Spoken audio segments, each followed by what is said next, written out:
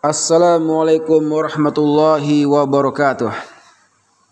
Alhamdulillah wassalatu wassalamu ala Rasulillah amma ba'd.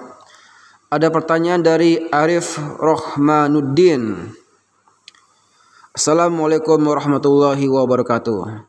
Dengan ini saya mohon penjelasan Tahun ini saya atau dosen kami mendapat tugas dari P2A desa sebagai panitia pelaksanaan sholat Idul Fitri di lapangan. Namun hingga hari ini belum ada keputusan kapan akan dilaksanakan sholat Id tersebut.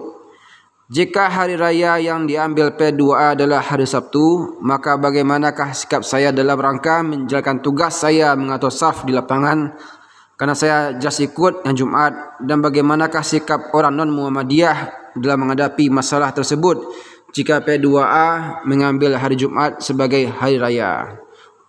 Assalamualaikum warahmatullahi wabarakatuh. Oke.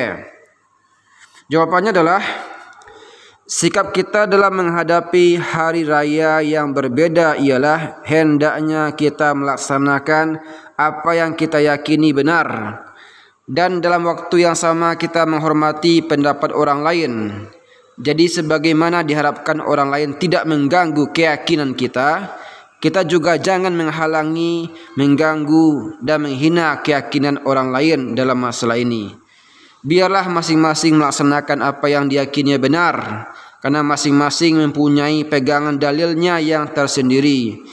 Yang lebih penting ialah kita harus menyadari bahwa perbedaan dalam masalah furu'iyah termasuk perbedaan hari raya bukan berarti retaknya ukhuwah Islamiyah dan hendaknya perbedaan tersebut tidak tidak dijadikan unsur pemecah belah umat Islam.